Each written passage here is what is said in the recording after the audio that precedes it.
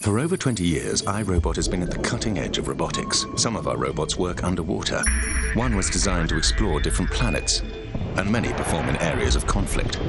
All this experience has gone into the new Roomba 700, our most advanced vacuum cleaning robot. Its unique navigation system adapts to your home and uses sensors that look and listen for dirt, before its advanced cleaning head simply removes it.